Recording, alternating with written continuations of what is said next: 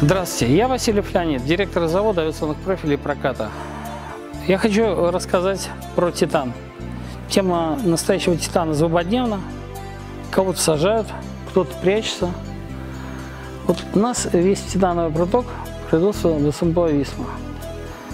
И такой, и такой ВТ-6, и ВТ-1.0, и ВТ-5. Мы предлагаем качественный материал, беря э, настоящий мы не говорим о том, что сертифицирование, сертифицирование. Просто мы, я ввожу такое понятие, как настоящий титан, то есть сделанный по правильной технологии. В нем отсутствуют газы.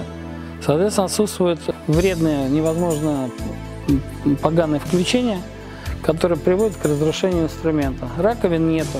Э, э, Нитрит титана все знают, что он нужен для повышения износостойкости инструмента, желтой пластинки. И представьте, если вы берете титановый бруток, в котором, или там плиту, плиту или еще какой-то титан, э, в котором очень высокое содержание азота и водорода. Это же фактически керамика. Что вы хотите от своих станков, от своей производительности? Естественно, именно по этой причине мои многие заказчики, кто занимается обработкой алюминия, меди, латуни, бронзы, нержавейки, не берутся работать с титаном, потому что имеют печальный опыт, неоднократный печальный опыт по обработке титана, что 5 деталей делают, из них 5 брак.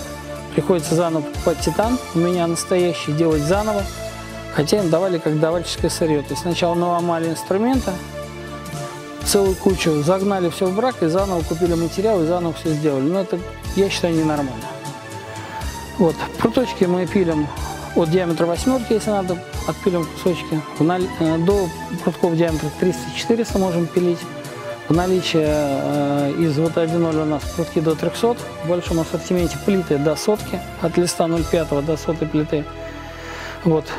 Иногда, когда, получается, мы заказываем прутки на верхней салде с обточкой, островские прутки все идут с обточкой, вот видите, видите, как блестят. По 173 по 266 теперь э, с новыми уточнениями все прутки должны быть с обточкой.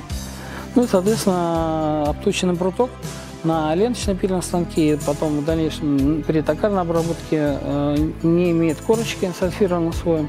Ну и шикарно обрабатывается, одного резца, одной пластинки хватает на очень-очень долго. Здесь у нас ряд титановых пруточков крупных размеров. Тоненькие пруточки хранятся на другом складе.